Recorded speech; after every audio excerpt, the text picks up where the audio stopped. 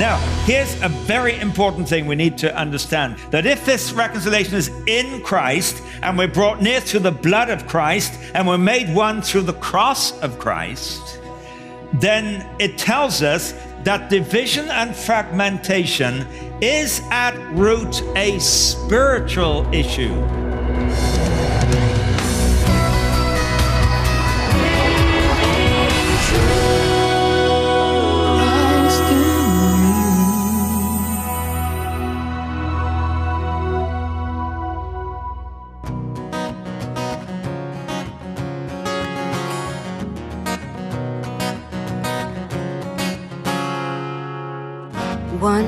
Ordinary moment,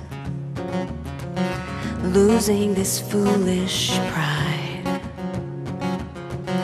humbled for even just a moment, casting my selfishness aside. Well, could I bring a simple kind of offering? And could I make a difference to this day.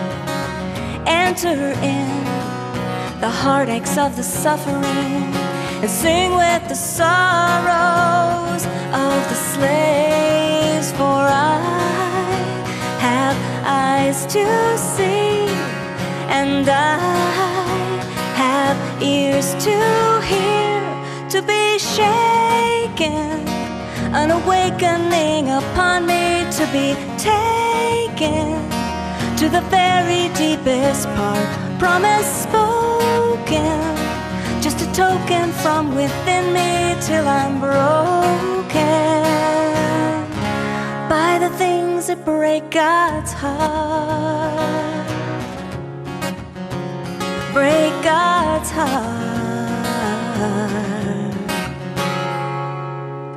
Sinking in muddy water. No one could even see their pain. Heaven cries for all our sons and daughters. Every tear is a drop of rain. So, could I bring a simple kind of offering? Could I make a difference to this day and enter in the heartaches of the suffering and sing with the sorrows of the slaves? For I have eyes to see and I have ears to hear, to be shaken, an awakening upon me to be taken to the very deepest part. Promise just a token from within me till I'm broken by the things that break God's heart. Break God's heart.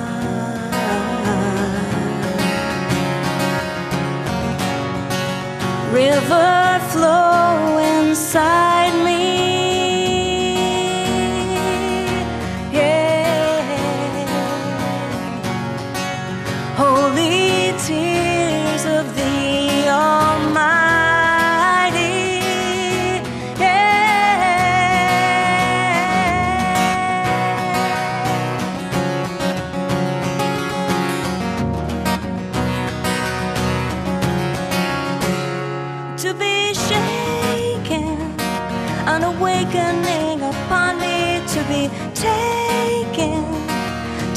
very deepest part.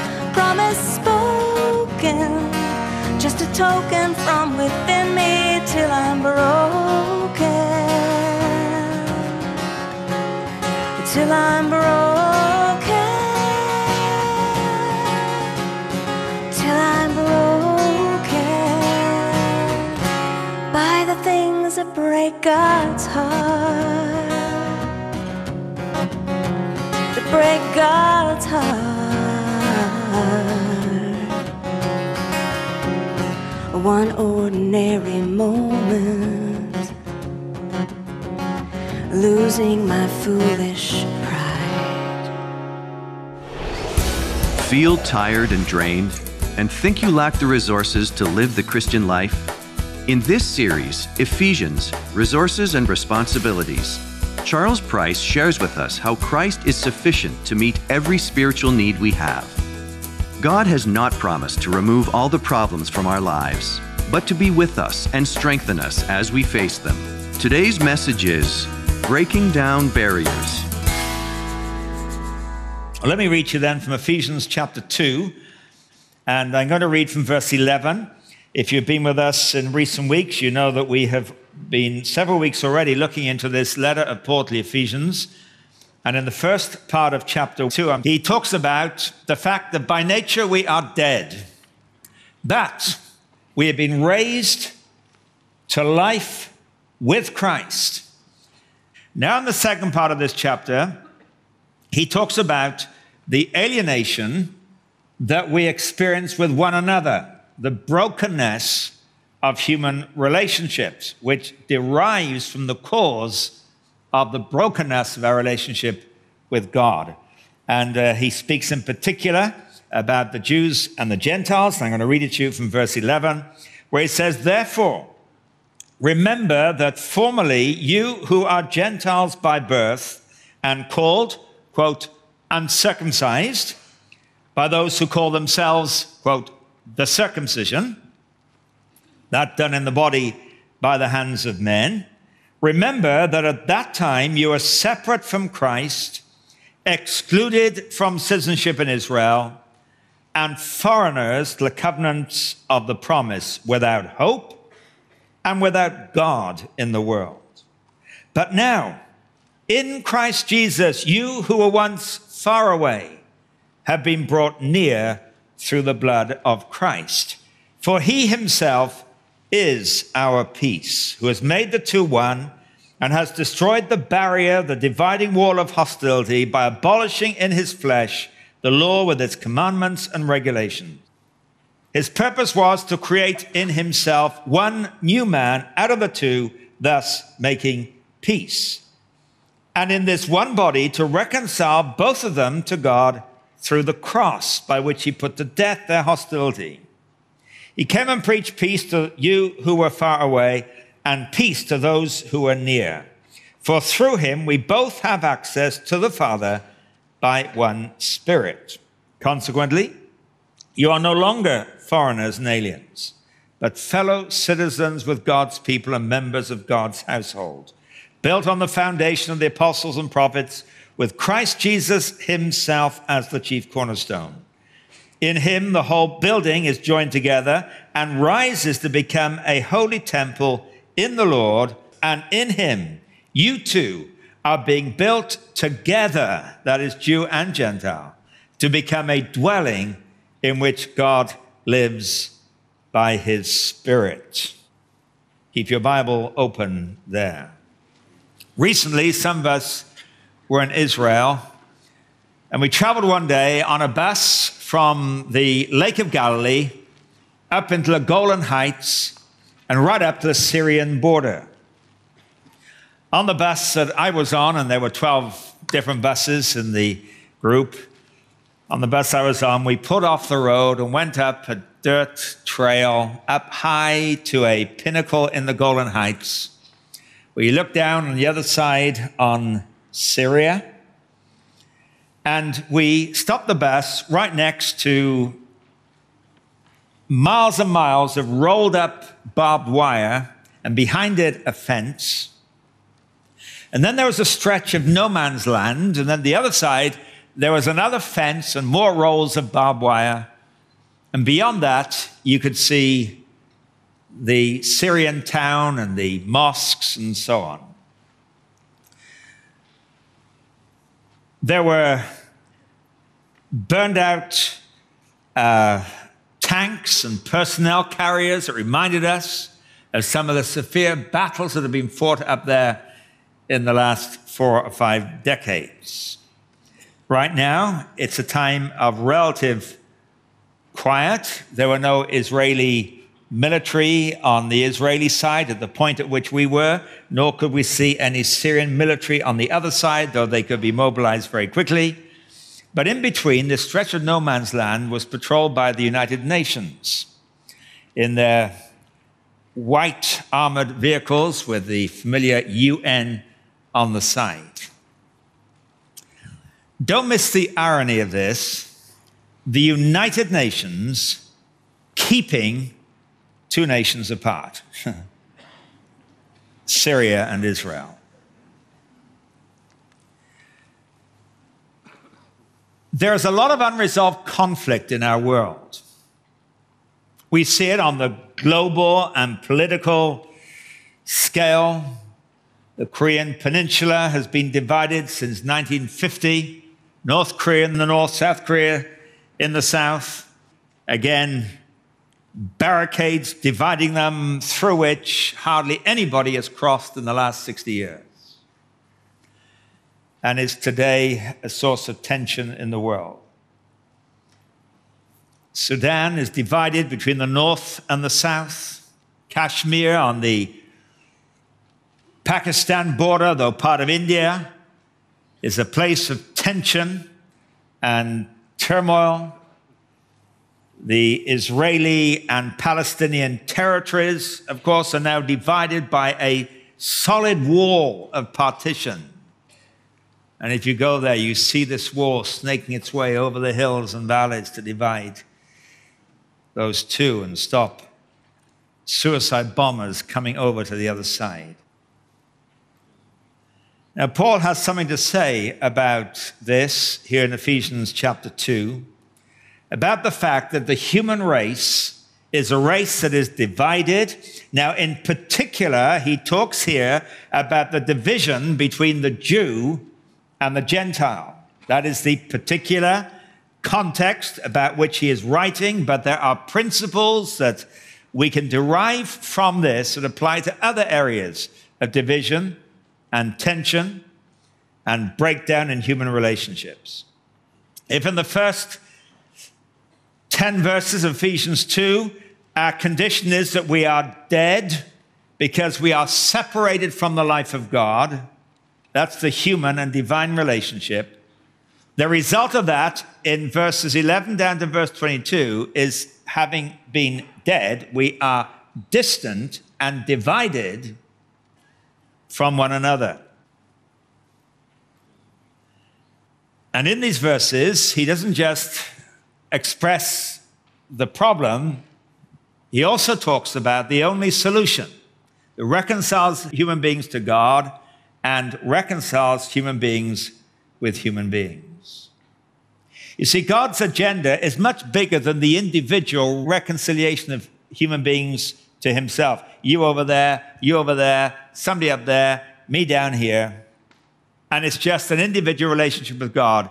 Rather, he is creating in those reconciled people a new community or a new humanity that is united in Jesus Christ. That's why the doctrine of the church is not just a doctrine of a club for like minded people to come to in order to get warmed up once in a while, but the church is itself the goal of the gospel. There is a new community of men and women, boys and girls who are united together in Jesus Christ and become a community that impacts and changes the world in which we are located. I think I've quoted this before. Uh, Stuart Briscoe said in my hearing on one occasion that when God created Adam, he created an individual. When he created Eve, he created something completely different. He created society. Now, said Stuart Briscoe, if the answer to the fallen individual is Christ, the answer to the fallen society is the church. The answer to the fallen individual is we're reconciled to God. The answer to the fallen society is, as verse 22 says, that in Him we are being built together to be a dwelling in which God lives by His Spirit, that there is a togetherness that is now working of the gospel in our lives. Now, let me follow with you Paul's argument in these verses. I want to talk about two things. I want to talk about the dilemma of disunity, first of all, and then we'll talk about the dynamic of unity, which he addresses here. First of all, let's talk about the dilemma of disunity. And he is talking about the hostility that existed between the Jews and the Gentiles. And there was reason for this. The Jewish people in their father Abraham had been set apart by God to fulfill his purposes. And the Gentiles were not part of that particular purpose which God chose the Jewish people. And so he says in verse 12 that um, the Jewish people had citizenship in Israel, they had the covenants of the promise, they had hope and they had God. In contrast, the Gentiles, without any of these, and so he says in verse 12, he says, Remember that you were separate from Christ, excluded from citizenship in Israel, foreigners to the covenants of the promise, you are without hope and without God in the world. In other words, you are Christless, stateless, hopeless, and godless in later verses, he uses these kinds of words to describe their condition. He talks about being separated, about being excluded, about being foreigners. He talks about a barrier. He talks about a dividing wall. He talks about hostility. He talks about being far away, and he talks about being aliens. These are all in these verses we just read together. These are isolating words, they are debilitating words. So the Jews and the Gentiles were different, and the Jews knew this especially.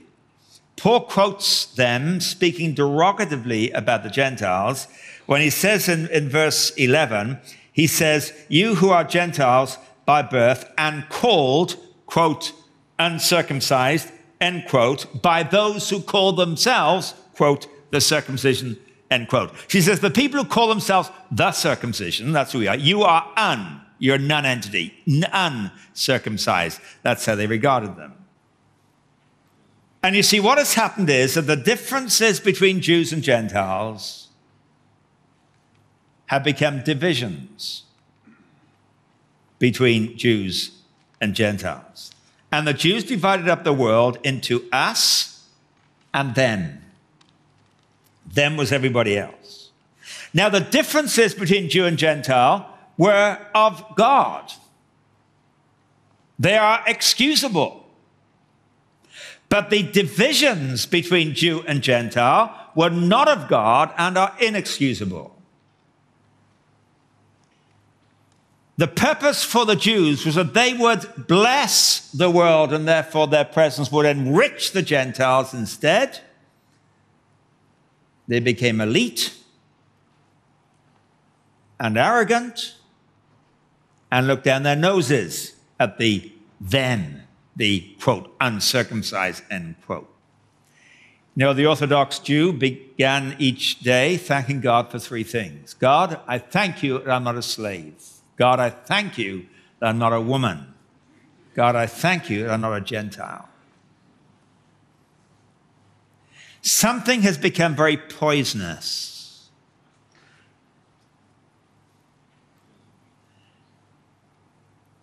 This elitism created this immense arrogance. And although it was not legitimate, they could rationalize it. It was difficult even to root some of this out in the early church because the biggest controversy in the early church was if a Gentile becomes a Christian, does he first have to become a Jew? Does he have to be circumcised if he's male? That was the first big controversy. They had a gathering in Jerusalem to discuss it. And when they met in Jerusalem, there were those in Acts 15, verse 1, who said, Unless you are circumcised, you cannot be saved. If you want to be one of God's people, you've got to become one of us. Actually, it's the reverse. You become God's people, then you become one of a much wider community. It lingered although they made a decision, no, you don't have to be circumcised. Paul wrote the Galatians about this. and a letter was circulated amongst the existing churches at the time. But uh, years later, when Paul came to Jerusalem at the end of his third missionary journey, he brought with him a friend from Ephesus who he's writing to now, and this friend was a Gentile. His name was Trophimus. And uh, when Paul got back to Jerusalem, the elders of the church met him and said, Paul, we have some good news and some bad news. The good news is a lot of Jews have been converted. The bad news is many of them are still zealous for the law, and they have heard that you are against Moses, and they don't like that. And so they made a suggestion as to how Paul might help to rectify that, that problem. The reason for that was, of course, Paul taking a strong stand on you don't need to be circumcised. That was interpreted as a rejection of the law of Moses. And uh, one day when he was there, he went into the temple area, which he as a Jew was allowed to do, but his friend Trophimus, the Gentile, was not allowed to do that. And so Paul didn't take him there. There was a wall no doubt what Paul is referring to, he talks about the dividing wall of hostility, and you could not take a Gentile beyond that wall. And Paul went beyond it, and people thought he'd taken Trophimus, which he hadn't. And when he came out, there was a crowd waiting, wanted to lynch him. He got arrested. He ended up being kept in prison for up to five years, all over this issue. Two years in Caesarea, took him to Rome. His boat sank on the way, ended up shipwrecked for winter in Malta, eventually arrived in Rome, and two years in Rome, and uh, five wasted years from every human perspective because of this dividing wall of hostility that Paul talks about here. Now, in Ephesus, when Paul had gone there, the first believers were Jews. He'd gone to the synagogue and preached there for three months. Many had become believers. And at the end of three months, the leaders kicked him out of the synagogue. He rented the lecture hall of Tyrannus and he spoke there every day for two years. And it tells us that during those two years, uh, many Jews and Greeks who lived in the province of Asia believed, and the gospel spread. And there was a great work of God that had taken place there. And now he writes to them and he says, Look, there's Jews in the church there in Ephesus, and are Gentiles in the church there in Ephesus. And some of these tensions that exist between you both are very hard to let go of and very hard to die. And so that's why he writes about this. Now, that's not a problem for us here. Not many of us are, are wrapped up in the issue of if we're Gentile, well, there's a problem not being Jew, or if we're Jew, looking down our noses at those who are Gentile. That's not a problem for us. But there are general principles in this incident that may apply to us today. You see, there are legitimate differences that exist between people that become illegitimate divisions. Some of those are very simple things, such as age. For instance, we now have a word for what we call it ageism, prejudice against people on the grounds of their age. Now, it's not new. When Paul wrote to Timothy, when Timothy was in Ephesus, he said, Don't let anyone look down on you because you're young. Because Timothy was young, there were those who were prejudiced against him in his youthfulness he doesn't have the experience, doesn't have the maturity. He says, don't let them prejudice against you because you're young. In the same book, he says, treat older men as fathers and older women as mothers. On the other side, hey, you young people, you may have some role in this church that gives you leadership, but he says, don't you forget the older people, treat them as fathers, the, young, the older women, treat them as mothers. So these things can grow into our lives, and we feel people have value at a certain time in their lives, and that value is less so either when they're young or when they're old. There can be gender prejudices. There are legitimate differences, of course, between male and female. When those differences become a grounds of division and often regarding in a derogatory manner, usually the male towards the female. Then those divisions become wrong. Race. And we're all from different races. We all have a race into which we were born, and those differences are legitimate. But when they become divisions, and my own race, the Anglo Saxon white race, has been especially guilty of this. in the last couple of centuries. Appallingly so and tragically so. Culture is different and legitimate. But when we begin to feel that one culture, usually my culture, is superior to another, or sometimes somebody else's culture is superior to mine, and so we feel intimidated, then the difference becomes a division. We have different abilities and we rejoice in that. We all have different abilities, but when those abilities somehow create a sort of pecking order where one level of ability and skill looks down its nose at other abilities and skills, the differences have become divisions. And when differences become divisions, they become destructive. Now, Paul's purpose is not to highlight the division, his purpose is to highlight the reconciliation in those areas where there is division. And so, my second point, if I talk about the dilemma of disunity which exists, he talks about the dynamic of unity and he writes about reconciliation. In verse 13, he says, But now in Christ Jesus, you who once were far away have been brought near through the blood of Christ. Notice that. He says, Your reconciliation is in Christ. That is a phrase he uses about 20 times in this letter. And to be more explicitly, you've been brought near through the blood of Christ. Later in verse 15 and 16, he says his purpose was that in this one body to reconcile both of them to God through the cross in which he put to death their hostility. Now, here's a very important thing we need to understand from what he's saying here. That if this reconciliation is in Christ and we're brought near through the blood of Christ and we're made one through the cross of Christ, then it tells us that division and fragmentation is at root a spiritual issue. And that is, it is properly rectified only when it begins at the cross of Christ and through the blood of Christ and being put in Christ. It's our alienation from God that is the cause of our human alienation from one another. And we're not going to put, if I may speak in these terms, the horizontal right until the vertical. Not that God is up there, but I think you know what I mean by that. We're not going to put the horizontal divisions right until the vertical division has been put right, which is why the first half of chapter 2 is about getting reconciled to God. You who were dead are made alive with Christ.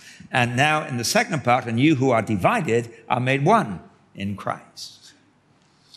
Back in the 1970s, I was in South Africa and attended the South African Congress on Mission and Evangelism, which was an event which drew together many Christian leaders from all across South Africa. In the 70s, the apartheid regime was fully in control, and it was a divided country. Uh, whites were allowed to sit on some benches in the park, and non whites sat on other benches. That's how the division was made whites and non whites. Uh, you could go into a certain hotel if you're one color, and you go to another hotel if you're another color. And it was divided right through the society. This conference gathered where everybody, black and white, were to live together in the same hotel, and they had to have a suspension of the law. Parliament had to agree to that for this event and everything took place together in one place. Billy Graham was there, and there was a public meeting held. There's about 600 in the Congress, but there was a, there was a, a public meeting to which about 60,000 people came, totally integrated, and Billy Graham preached at that. On the first night of the Congress, Michael Cassidy, who was the chairman of it and who's had a very significant influence in South Africa, in his welcoming address, said, It is very likely over these 10 days that we're going to become divided over different issues. There are hurts that lie very deeply and they're going to come out. There is pain, there is prejudice, there is fear. And these things, in the course of these 10 days, are likely to surface. There are going to be misunderstandings. But he said, I want us at the beginning of this Congress to agree to something together. And it's this if we get separated, let's agree that we'll meet together at the foot of the cross. And actually, it was quite a tumultuous time. There was division. There were people walked out of the main session. But meeting together at the foot of the cross is not something sentimental. It's saying that what has caused this division is actually sin. And we meet on the basis of forgiveness. That's what the blood of Christ he talks about refers to. For it is the blood of Christ that cleanses us from all sin. And that's why reconciliation begins at the cross, whereas Paul says in verse 13, in Christ Jesus, you who once far away have been brought near through the blood of Christ. You're being brought back to God, reconciled with Him, made right with Him, and that changes your relationships with each other. And then he says in verse 14, speaking of Christ, for He Himself is our peace, who's made the two one and has destroyed the barrier, the dividing wall of hostility. So he says Christ is our peace. And then in verse 15, he says his purpose was to create in himself one new man out of two, thus making peace. And in verse 17, he came and preached peace to you who are far away and peace to those who are near. Now notice the sequence there. He himself is our peace. He is making peace and he came and preached peace. What he is, he goes on making. What he is making, he goes on proclaiming, says Paul. And then consequently, he says in verse 19, you're no longer foreigners and aliens, but fellow citizens with God's people and members of God's household, built on the foundation of the apostles and prophets with Christ himself as the chief cornerstone. In him, the whole building is joined together and rises up to become a holy temple in the Lord. And in him, you two are being built together to become a dwelling in which God lives by his spirit. Now, what he's saying there is this forget about trying to be right with other people. You're not going to get right with God. You can get right, but it'll be superficial and it'll likely erupt again. Now, he says, you first come to the cross of Christ. Be reconciled to God because what unites us together and what was designed to unite us together was the presence of God within us. What happened at the fall was that we became separated from the life of God. And hence he says, You're dead in verse 1. As a result, you're now distant and divided. Let me try and illustrate this. I, um, I, it's not a rosary, in case any of you worried. Neither do I normally wear this. But this is a necklace. A lot of beads all strung together. And what holds these beads together is, of course, the string uh, which unites them. We were created to be the dwelling place of the Spirit of God. That was God's intention for us. But something happened in the fall. And what happened in the fall is that we became separated from the life of God. If I take a pair of scissors and I cut it, what happens to the beads? I'm going to be sliding all over the place now. Every bead which once had an identity given to it by the presence of the string which held them together, and were united together and functioned together, had a common identity, suddenly they're all over the place. And uh, if I try to put these things back together without the string, what's going to happen? How do I get these things to relate to each other? No, get them back onto the string. The point is this, you see. That in Ephesians 1, he says, Somebody cut the string. You are dead. You are separate from the life of God. And the result is you have a bunch of beads all over the place, divided, distant, alienated, foreigners, there's hostility. These are all words that he uses here. But now in Christ, you recognize your own sin and need. You come back and you are forgiven and you are cleansed and you are indwelt again by the life of the Spirit of God. And I've got another one here too.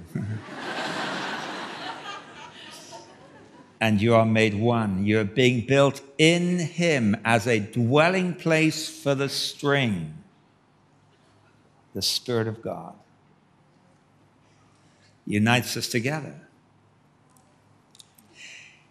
When we look at all the discord in our world, we tend to address the issues as being primarily political or economic. And of course, there are political issues and economic issues, but unless we see that the fundamental need of the human being is spiritual, these things might stick a few occasional odd beads together for a while but they won't restore the unity and the oneness. And that's why you see, we have to be utterly convinced of this that being a Christian is not just a little part of my life that is isolated from the workplace and isolated from where I live and isolated from the politics of our city and our country and the economics of our country and our world. But rather, the deepest need of the human heart is a spiritual one. And it only begins by being reconciled to God. And having been reconciled to God, then the fragmentation that is inevitable when we're detached from God also begins to be rectified. You're being built together to be a dwelling which God lives by his Holy Spirit. Now, let me give you a totally unrealistic illustration of this. And it's unrealistic because the human heart is what it is. Ever since 1950, North and South Korea have been divided. And every once in a while, of course, there are verbal and more recently physical attacks made by one on the other. It's a loggerhead situation, which in the present status quo seems to have any hope of bringing about any kind of reconciliation. But here's what I want you to imagine. Imagine that the leaders of North Korea and the leaders of South Korea publicly confessed their own sin, their own wrong, their own prejudices, their own false propaganda. And they confessed it to God and said, God, we are wrong in these areas. This is sin. Would you forgive us? They say nothing about the other side, just about themselves. And then to each other they say, I have wronged you. I have lived in such a way as to create tension and terror and fear and separation. Will you forgive me? And then the nations of North Korea and South Korea together probably forgive one another. Do you think that might help? Think it might bring about some kind of reconciliation? Well, of course, it's an unrealistic image. You say that's impossible. If the Israelis and the Palestinians were to do the same thing, you think that might bring about some resolve? You see, this is not just a good idea or a fantasy or a concept. This is truth.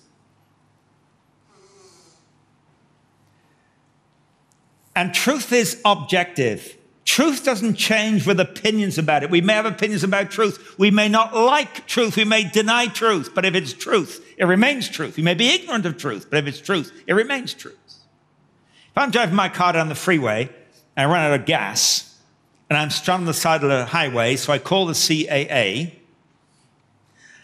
and they come and uh, the CAA gentleman gets out of his vehicle and he says to me, um, What is your philosophy of motor cars? What do you think is important about motor cars? I say, well, you know, I, I, I think, always think it's important that you change the oil regularly. Okay, great. So they change the oil.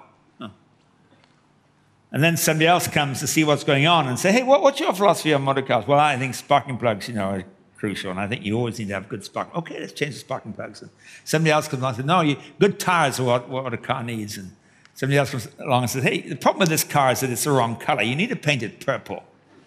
And uh, it'll be much better if you paint it purple. The truth is, of course, it's run out of gas. And nothing else matters if there's no gas in the tank. And you see, if we become separated from God, if that is the true diagnosis of the human condition as opposed to simply a religious nonsense idea, if this is the truth about humanity, then we can fiddle around changing the color of the car. We can fiddle around putting some fresh sparking plugs in it. But unless there's gas in the tank, unless God is back into the human experience, back into human life, unless the Spirit of God has imparted his own life, as we saw last time in the early part of Ephesians 2, when he says you were dead, you were made alive with Christ, not by Christ, so he was the, he was the one who did it, but with Christ. It is Christ himself who makes you alive by his presence. It's his life. Now, having been reconciled to God, string back in the beads. What you discover, you're being reconciled to one another. That's why the gospel is not a nice uh, thing we should just be talking about isolation. That's why we're concerned about as a church in our city that we have actually an answer to the fundamental needs of the human heart. And our job is not to worry about the sparking plugs. They're needed, and other people do that. Our job is to get gas back in the tank. The Spirit of God back into human experience. And that in itself becomes the means by which we're reconciled. If you, if you see it this way, have a triangle, and uh, at the apex of the triangle, you have God, and one side you have one person or group, the Jew, the Gentile, whatever, and the other side, the other. How are these two sides going to get closer to each other? There's only one way, and that's by getting closer to God. And as you get closer to God, you become closer to each other. The closer you are to God, the closer you become to one another. When I was at school, we had a woodwork teacher. He wasn't very nice, and you could do these things in those days, they were legal. If you got into trouble, and I did occasionally, he used to get hold of your hair just, just by your ear, and he would twist it it's very painful. And he'd say, You are a stupid boy. What are you? I don't know, sir. You are a stupid. What you? I'm a stupid boy, sir. Used to do that in my day. I'm not that old, but they used to do it.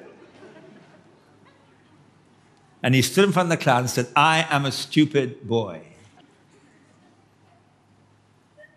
You got the sympathy of everybody else. Mind you, half of them would say, Yeah, yeah, we knew already, you know. but there comes a time you stand and you say, Lord Jesus, I'm a stupid boy. It's me. And so, having been reconciled to you, and I, and I, go back into my real life and real world, and I find there's all kinds of tensions, whether it's my marriage or my family or my in laws or my workplace or whatever it may be, my siblings.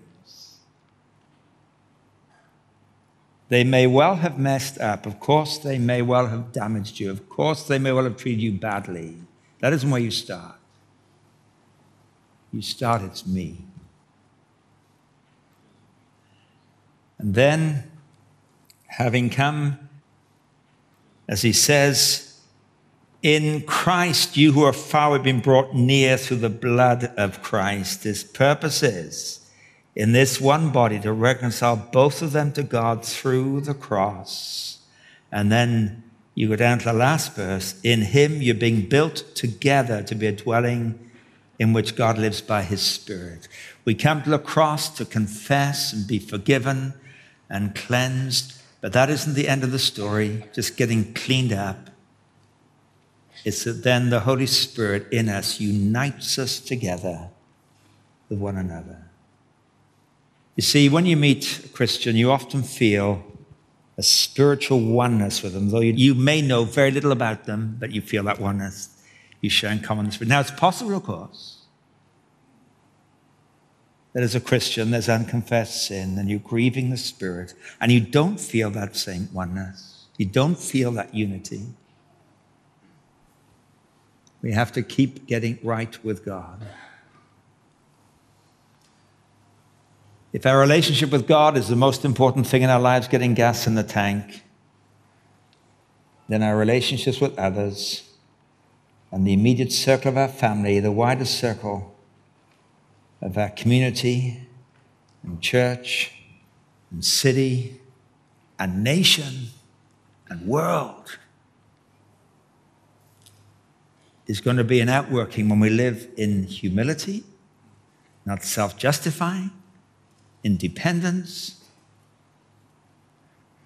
and we discover that the string is back in the beads. And they begin to not only relate, but together they've got a meaning, an identity, and a purpose they never have when they're on their own.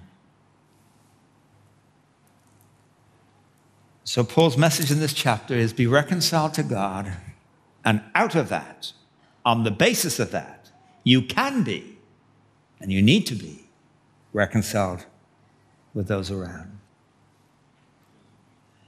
Faced with the dilemma of disunity, which our fallen world leaves us with by nature, there is the dynamic of unity, which is the outworking of the gospel in the closest and tightest relationships in our church here or the churches we're part of.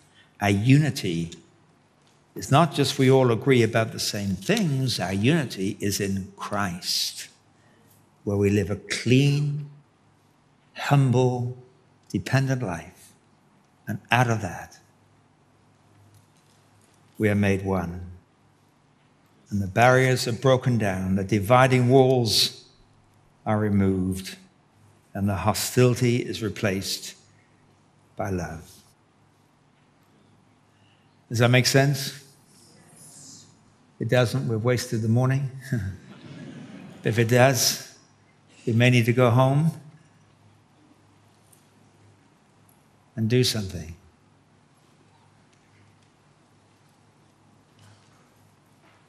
And rebuild the most precious thing in our lives, which are our relationships.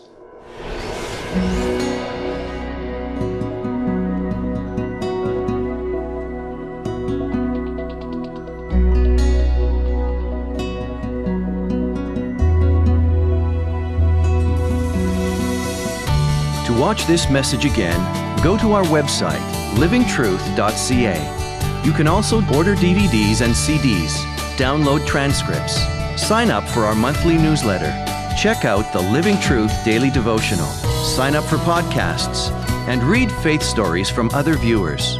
We love to hear from you, so send us your comments and testimonies. Living Truth is supported by viewers like you. Thank you for transforming lives through your financial participation. Join Charles next week for the conclusion of this series, Praying for the Fullness of God.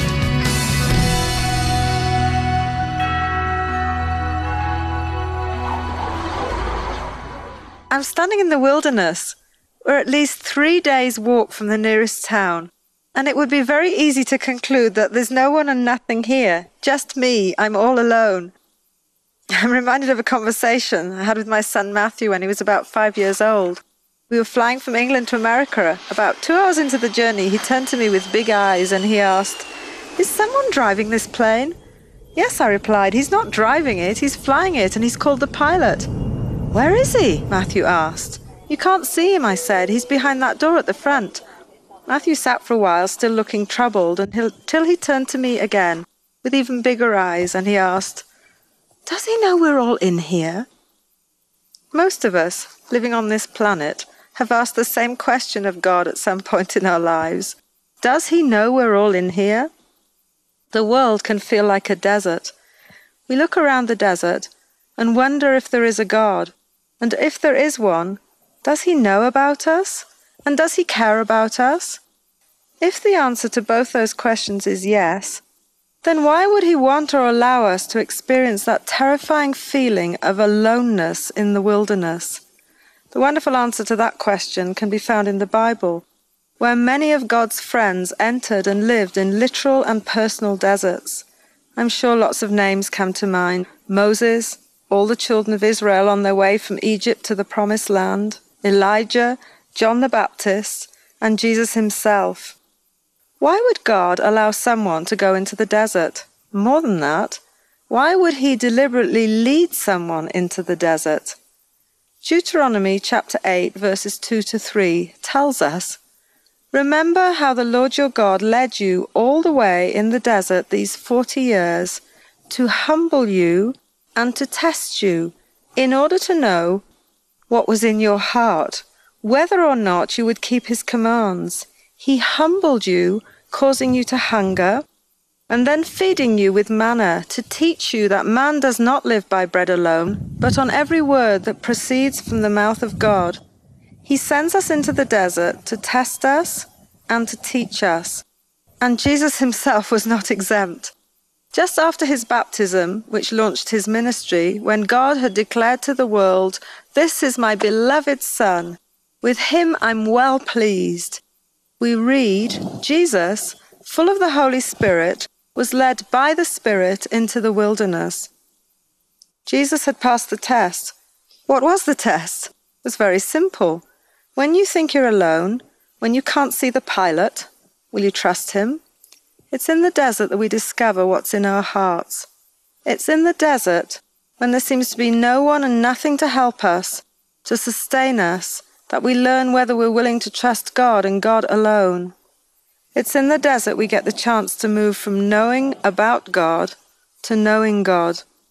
Alone in the desert with no support system, we become more aware of our need for God than we ever are when surrounded by provisions and people, and God leads us there for that very reason. When you find yourself seemingly alone in the desert, God is searching your heart and asking the simple question Will you trust me? Will you let me teach you? A war rages within. The ultimate prize for this war is our relationship with God. It is only those who discover, I am my beloved's and he is mine, who have received the treasure the desert has to offer, who will emerge and cause people to look up and say, Who is this coming out from the desert, leaning on her lover? Song of Solomon, chapter 8, verse 5. The desert is where God calls you to Himself, and you learn to lean on your lover. Turn your eyes upon Jesus. Look full in His wonderful face,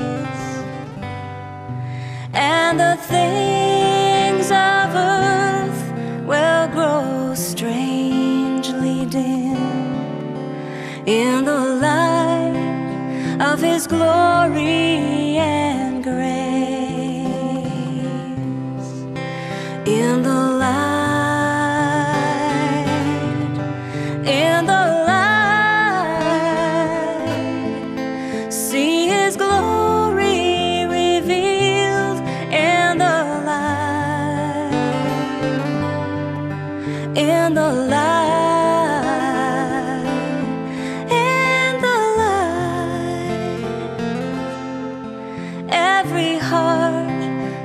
be